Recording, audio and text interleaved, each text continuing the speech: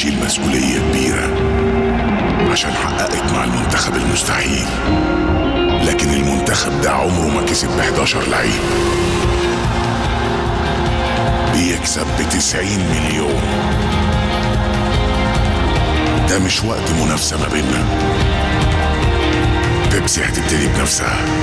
فالشهر ده بيبسي هتقلب أحمر يلا نشجع مصر.